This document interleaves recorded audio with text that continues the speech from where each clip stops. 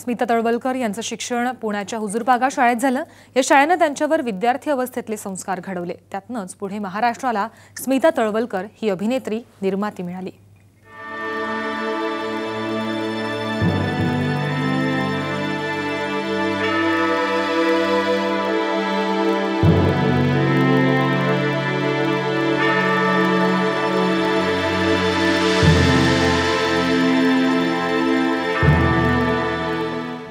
स्मिता तळवलकरांच्या आयुष्यात पुण्यातल्या हुजूरपागा शाळेचा मोठा वाटा आहे.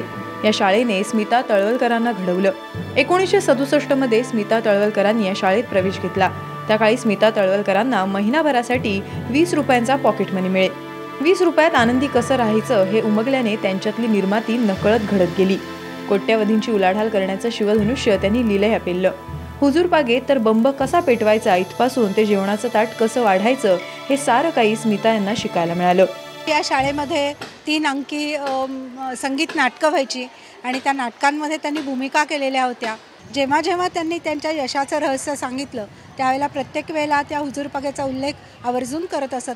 इथले शिक्षक इथलं वातावरण इथल्या मुख्याध्यापिका इथल्या शिक्षकांची शिकवण्याची पद्धत या सगळ्याचा त्यांना खूप उपयोग झाला.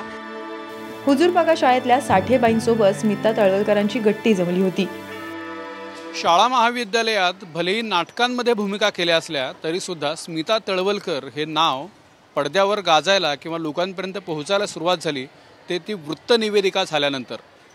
वृत्तनिवेदिका होण्यासाठी सगळ्यात महत्त्वाची गोष्ट लागते ती म्हणजे भाषेवरचं प्रभुत्व आणि मराठी भाषेवरचं हे प्रभुत्व मला हुजूरपागा शाळेनं दिलं असं स्मिताताईंनी अनेकदा त्यांच्या मुलाखतींमध्ये सांगितलं आणि त्यामुळं या शाळेमधून त्या ज्या घडल्या आणि भाषेवर जे प्रभुत्व मिळालं त्याचा उल्लेख त्यांनी अनेकदा अनेकदा केलेला आहे आणि त्याच्यामुळं आपल्या शाळेच्या ऋणात कसं राहावं हे स्मिताताईंनी अनेकदा दाखवूनही दिलेलं आहे. स्मिताताईंच्या जाण्याची बातमी कळताच हुजूरपागा या शाळेवर शोककळा पसरली.